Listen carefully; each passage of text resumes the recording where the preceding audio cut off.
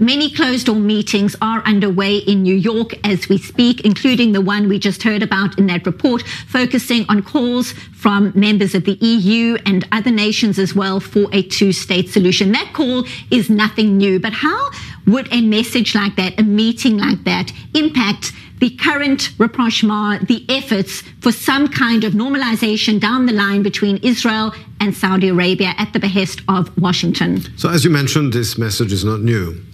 Uh, but it is being uh, repeated in the context of a possible normalization between Israel and Saudi Arabia. And I think the underlying message is that, uh, at least coming from Saudi Arabia to Israel, is that unlike what happened with the uh, normalization with the UAE, with Bahrain and Morocco, uh, Israel wouldn't be wouldn't be able to get such normalization without at least a gesture or some kind of commitment on the Palestinian issue and on the two-state uh, solution. Because it was the case, in fact, that the three Arab countries I just mentioned did normalize their relation with Israel without any even a gesture except the suspension and the freezing of uh, Israel's uh, annexation plan at the time uh, for the UAE.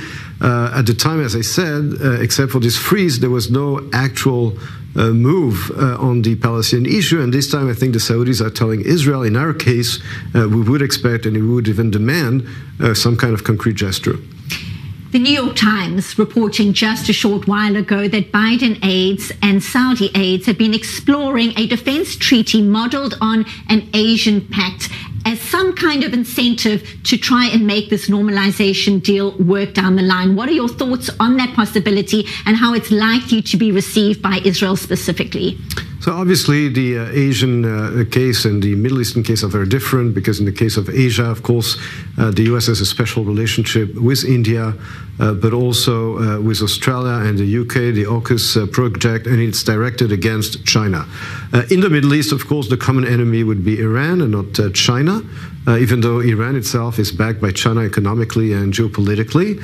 Uh, but the uh, Israel, of course, doesn't really need such an alliance. Israel never really wanted to be part of an alliance, even of uh, even of NATO, uh, at least in recent years.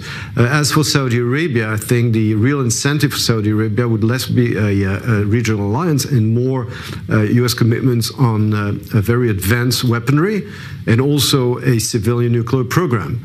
So I doubt that the prospect of a regional alliance would really uh, serve as an incentive either for Israel or for Saudi Arabia.